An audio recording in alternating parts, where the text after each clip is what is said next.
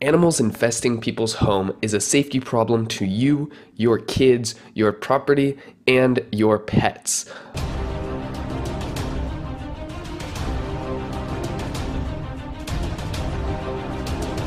Often, what can happen is animals will get trapped inside of the home and they will pass away, creating a horrible smell and some problems. For example, this can attract pests and other animals to continuously invade your home. Furthermore, these animals can come out and they can end up attacking you or your pets, or in general, just creating altercations, which is not safe. And finally, these animals can spread diseases.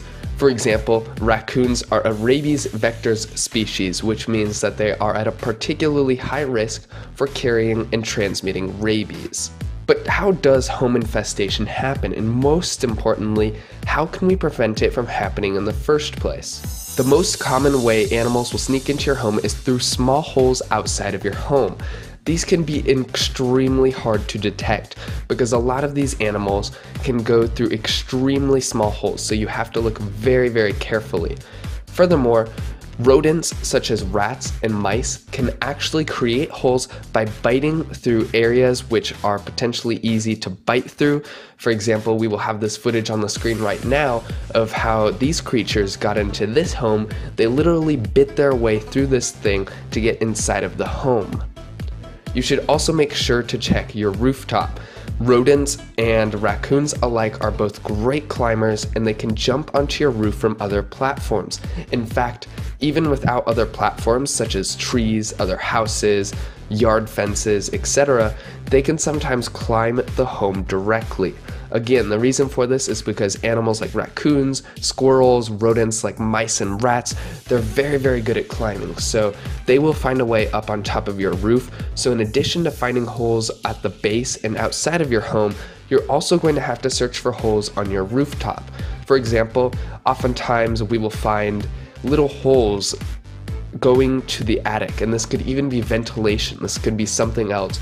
But these creatures will find a way to break into it, and then they will begin to infest your home. Another thing to check is your attic. A lot of people have attics, even if they don't realize it. So the attic will often be blocked out because it's very small and it's just a small little area. I know for me and one of my homes, the attic was actually inaccessible unless we opened it up. However, animals like raccoons and birds can still infest the attic and they can actually create holes and problem with their waste by just leaving stuff there, passing away there, etc. So oftentimes people's attics can get uh, infested without people even realizing. And again, this is because they find little holes on the rooftop or they just bite their way into the attic and then no nobody really realizes that there's actually animals hanging out inside of the attic. Another thing you should check is your garbage bins. Garbage and smells will attract raccoons, rodents, and other animals from miles away.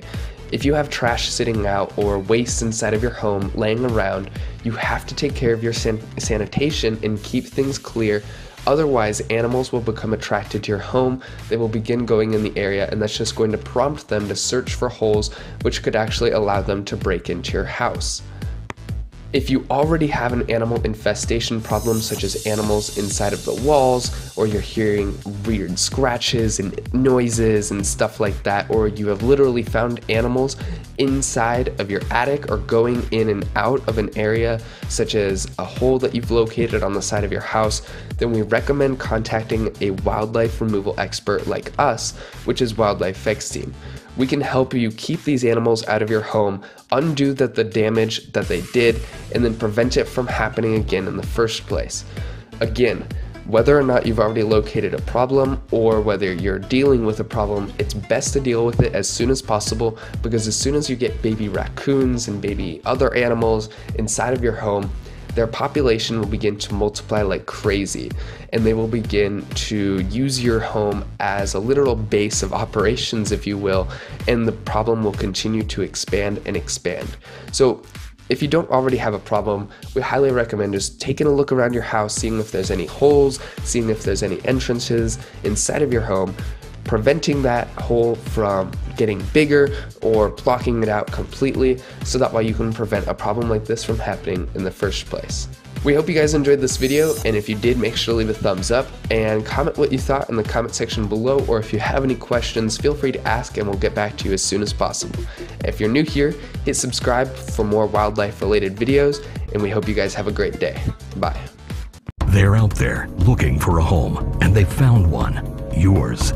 They want that cozy place in your attic or under your foundation. Give them enough time, and you'll be paying big bucks to fix their damage.